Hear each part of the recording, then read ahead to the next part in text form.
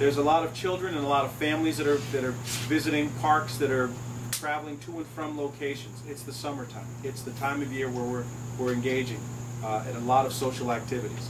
We cannot tolerate having people operating motor vehicles that are inebriated.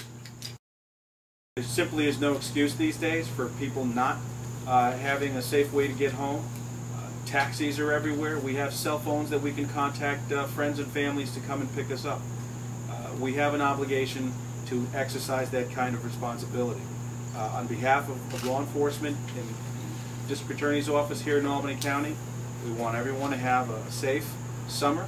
Uh, we want everyone to be responsible, but we should also let you know that if you decide to behave irresponsibly by drinking and driving, there are serious consequences. And we have plenty of examples that occur on a weekly basis of people of different socioeconomic backgrounds who are being sent to state prison for being irresponsible and putting other people's lives at risk.